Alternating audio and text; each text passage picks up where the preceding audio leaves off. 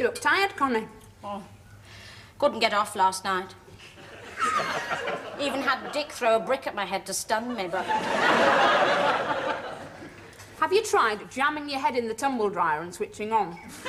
no. It worked for me. Then, of course, the body gets accustomed. Mm, it's like deodorants.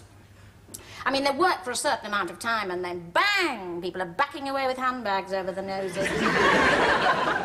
You're not ponging too badly at the minute, Connie.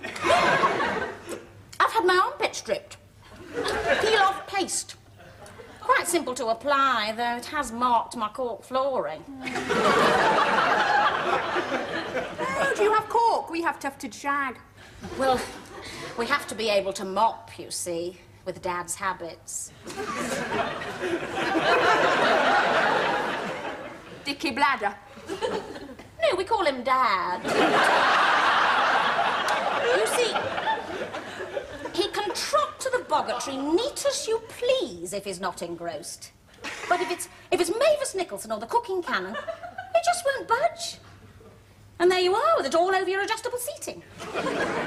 Well, can't you put him in a home? Well, we could, but I'm using his head for a flower arrangement at the moment. Is that an evening class? Yes, I put down for jiu-jitsu, but I came out of the wrong lift. What's in your sandwiches? Mm, soap powder. it's these drugs I'm on. Really. What's in yours? Coconut matting. I'm doing the high fibre.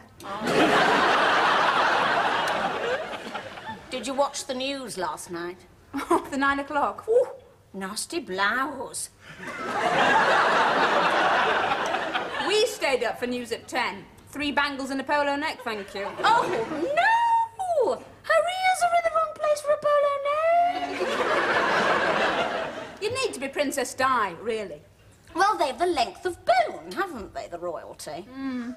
But the Queen's not got long bones. Oh, well, she spent all that time stood about with natives waving their doodahs at her. Our next door's had sex again last night. Not again. I mean, I like a joke, but that's twice this month.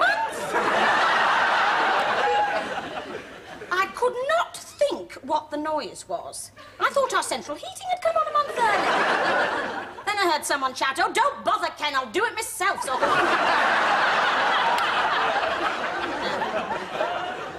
so I thought, well, it can't be the central heating. Have you got gas? No, methane. I thought, well, I'm on the high fibre. Does it work your cooker as well? Mm, though a leg of pork takes seven days to cook through. Can't keep it down, pork. Ever since a Jehovah's Witness told me about their mating habits. What, pigs? Mm. What do they do? Oh, they enjoy it. they do. Oh, they do. Now, are you still having pork and pickle fancies for Shona's wedding? No, I'm not.